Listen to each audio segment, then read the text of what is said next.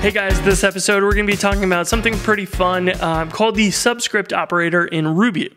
So let's take a look at an example um, and where you might see this in your code. Let's make a fake migration here called add um, email to users. And this is going to, of course, inherit from Active Record migration, and you have to specify the version in the um, class there. And then you can create your method and say, let's add a column to the users table um, called email, and it's going to be a string type.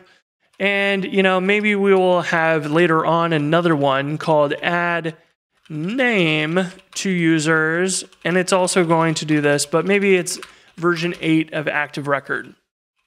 Now, how does Active Record actually figure out the versioning stuff um, that's happening? Well, in Ruby, um, the square brackets here is often referred to as the subscript operator. And this is actually just calling a method called square brackets on the class.